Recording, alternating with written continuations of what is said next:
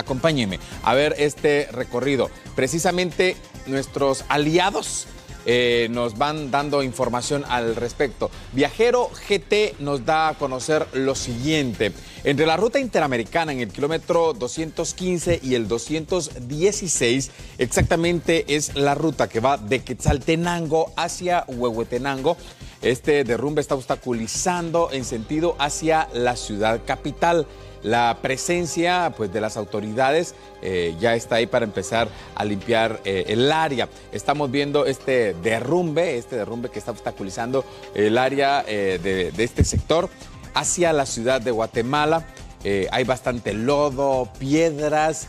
Ya están pues trabajando según la información que se tiene precisamente por parte de las autoridades. Vea usted cómo ha quedado esta parte eh, pues bastante grande este derrumbe, aunque la montaña no es tan alta, pero este deslave ha provocado pues bastante caos vehicular.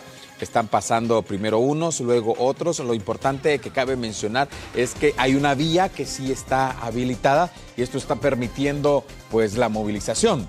Si usted va a salir, por favor, si su ruta es entre Quetzaltenango y Huehuetenango, en el kilómetro 215 al 216, es donde se está presentando este derrumbe en la ruta Shela-Huehue está obstaculizándose el paso. Aquí veíamos cómo pues también han caído ramas, cómo han caído piedras, lodo, todo lo que está en los alrededores. Por favor, señores, siempre